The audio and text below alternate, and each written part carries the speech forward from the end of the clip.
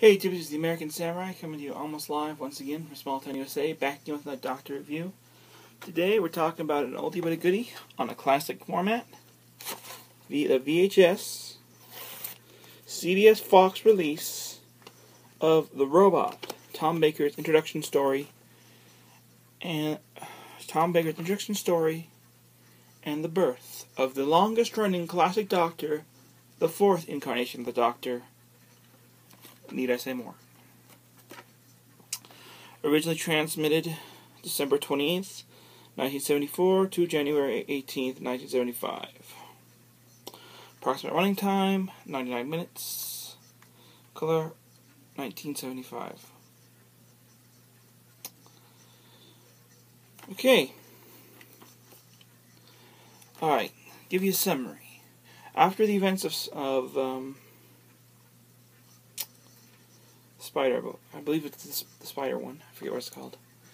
Um, this is, uh, the Doctor is behaving rather oddly. His regeneration, after regeneration, the Brigadier finds a research center under attack after a robot steals the plans for a new disintegration gun. Could the members of the mysterious think tank be responsible for the giant invader? How sinister are the intentions of the Shadowy Scientific Reform Society? More importantly, can the Doctor recover in time to save Earth from atomic war? Okay, now how I found out about how was I first um, exposed to this one? The Multimedia Chronicles. I can't pronounce the guy's name, uh, channel name, but uh, just search Multimedia Chronicles. I believe he talks about this being like one of the his introduction to Doctor Who. Uh, they had the first episode of this on YouTube, but after that, it's kind of a blank. They had the audiobook up for a while, but um, overall, I enjoyed this. It moved along rather briskly, being a four-parter. There wasn't any, there wasn't that much filler. And what I like about these old VHS cassettes compared to, say, the DVDs nowadays, is there wasn't any ads on this tape whatsoever. Let me explain this to you. No ads. I mean, that just blows my mind. Nowadays, like every DVD release has like twelve, like four or five ads you got to get through before you can get to the main menu and watch the actual movie. But I'm not talking about that. Overall, what I think about this, I thought it was a pretty good story. I watched it a couple times. I find myself watching it when I'm bored, even if it's on VHS.